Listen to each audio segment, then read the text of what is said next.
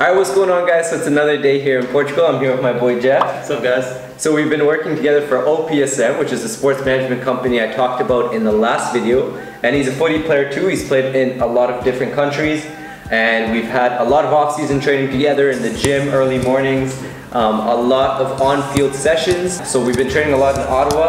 Uh, we've shared a lot of the, the grind, the hustle overseas to try and uh, make it in some different countries. And um, yeah, he's probably going to be popping up in a lot more of my videos, so I'll let him introduce himself and then kind of get into what his plans are. Hey guys, like yeah, like so I was saying, we come from the same city in Ottawa. We've been at this together for about two years, training together, going on different opportunities that kind of came out of nowhere. Yeah. My background is I, I grew up playing in Ottawa, went to University of Michigan first for two years, and then went to Albania because I had an opportunity there. I tore my ACL, so I ended up coming back to school, and then I went to the school at the University of South Carolina. After I graduated, I was able to go to play in Ottawa Fury for a few years. Then from there, went to Germany. Then from Germany to Portugal, and now I'm currently playing in, in North America again. So I'm excited and kind of just waiting on what's going to be next. Yeah.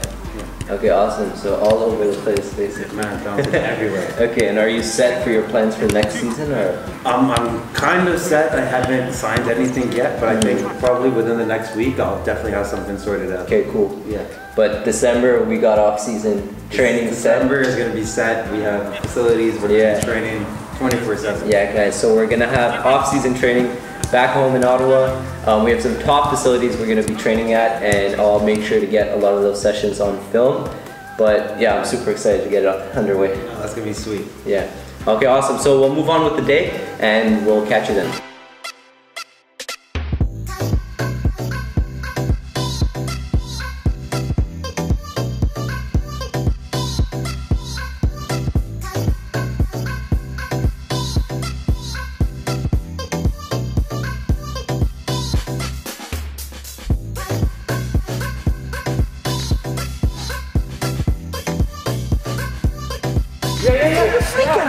Chuta, foda-se!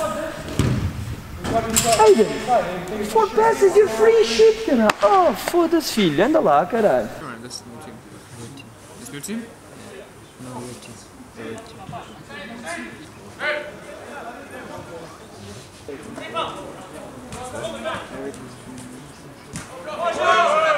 Alright, so we're tuning into Ali's game. He's one of the players here, but I'm also with my boy Daniel. So he's a footy player. He's playing here in Portugal, and we go way back uh, in Ottawa. We've been training together. We also played together. You want to tell them a bit about that?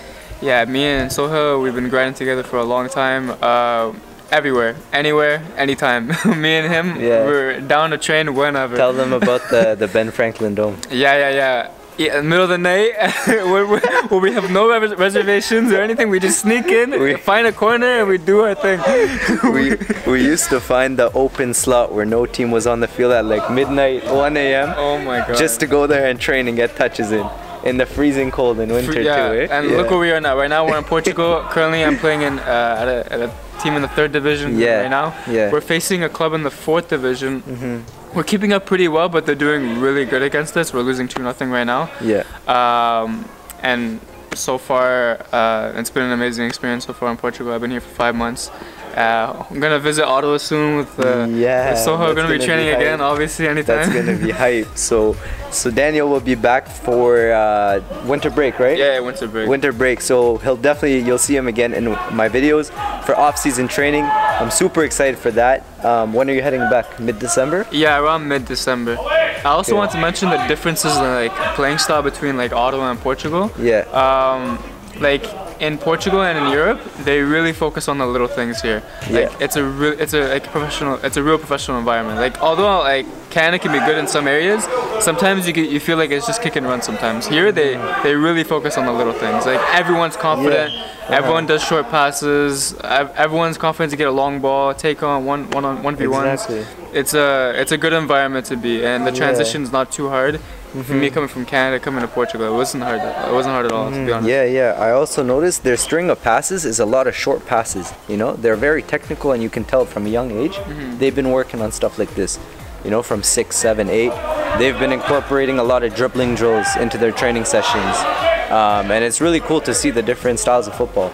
So we're just gonna finish up the game, and then we'll catch you guys later. All right, guys. So we're back at the house. Just wanted to introduce you to Janu, good friend of mine, and he actually manages the players here at the house. He also is a football player and plays here in Portugal. Hello, my name is Janu Silva. I'm striker.